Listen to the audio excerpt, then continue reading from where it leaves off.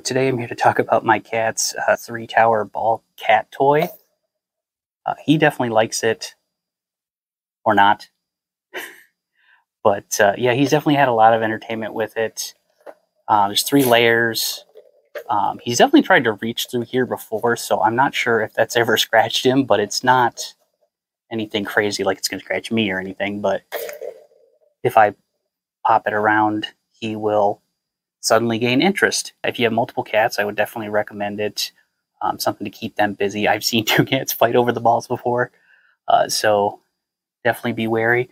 I think he's even looking like he wants to play again. But uh, yeah, definitely, definitely recommend.